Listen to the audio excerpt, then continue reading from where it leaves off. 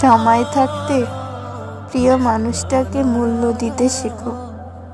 প্রিয় মানুষটা একবার হারিয়ে গেলে হাজার চেষ্টা করেও তাকে ফিরিয়ে আনতে পারবে না।